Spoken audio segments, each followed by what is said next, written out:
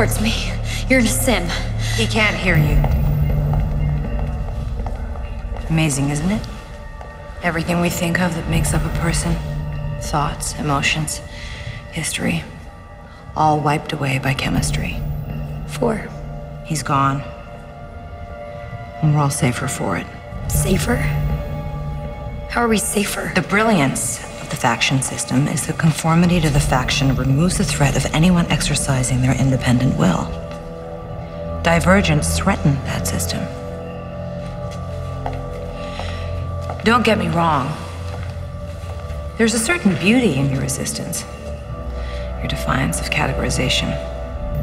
But it's a beauty we can't afford.